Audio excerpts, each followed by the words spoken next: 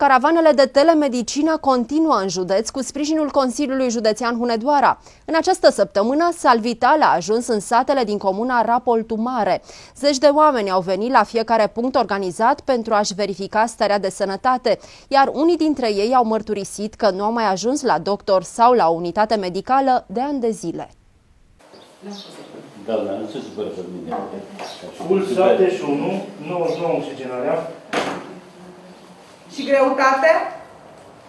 Mă mențin la 7 și Nea Victor din Bobâlna a fost tehnician veterinar și este cunoscut în toată zona, după zeci de ani de muncă.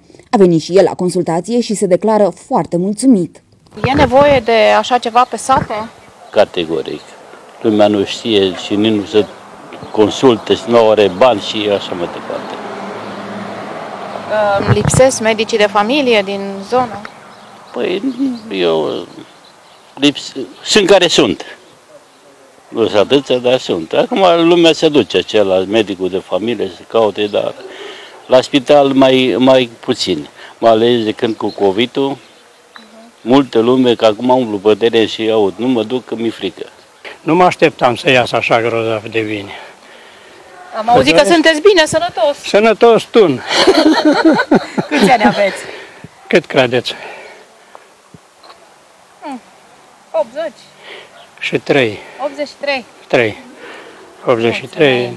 Am trecut deja pe 84. De la Bobâlna, ambulanțele Salvital s-au îndreptat către satul Boiu. Aici, oamenii așteptau deja paramedicii și asistenții medicali. Unii nu au mai mers la medic de ani de zile. Oamenii în vârstă au venit sprijiniți în bâte sau chiar în cadru, până la locul unde era organizat punctul de verificare al sănătății. Cum a fost consultația? Foarte bună. Da? Să fie vale și sănătate bună. Și că Ce v-au făcut? Apoi nu, toate alea, știi, ca, ca gheu și uh, plămâni și... Cum a fost? A fost bine. Vine să ne viziteze, să putem merge la lucru. Zice, nu, cum e domnule, nu, poți merge la sapă, dragă, liniștită, că e bune cam tătea. De când nu v-ați mai făcut analizele? Păi e un an, că numai cam la o an, așa le facem. E bine că vin băieții ăștia? E bine, e foarte bine că vin, aduce și pe omul ăsta, dar dor picioarele. Se umblă cu două bâte.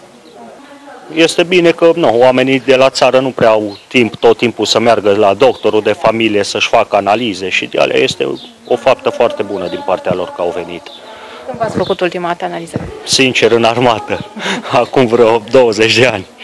Nu, chiar totul este bine, plămâni, sânge, glicemia, este chiar foarte bine. La solicitarea oamenilor, paramedici au mers și acasă la cei care nu se puteau deplasa. și acum vedem și cât îi. 221, bunicul. Un pic cam mare.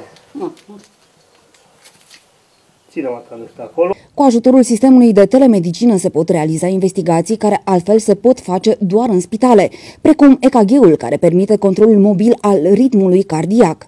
Paramedicii au posibilitatea să determine și INR-ul, o analiză de sânge foarte utilă pentru monitorizarea persoanelor care sunt tratate cu anticoagulante.